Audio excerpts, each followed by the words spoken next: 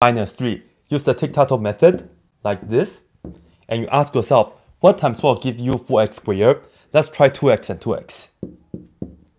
And then come here and you ask yourself, what times 4 give you negative 3? And we can try 3 and negative 1 or negative 3 and 1, right? So let's go ahead and maybe put down mm, 1 here and 3 here and let's make this negative.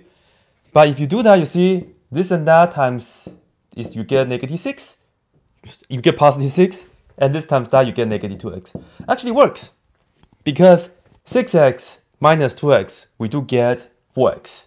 So the answer for this is really just this and that. You go across, all right? So 2x minus 1 times 2x plus 3. And you're done. That's it. That's life. Thanks for coming.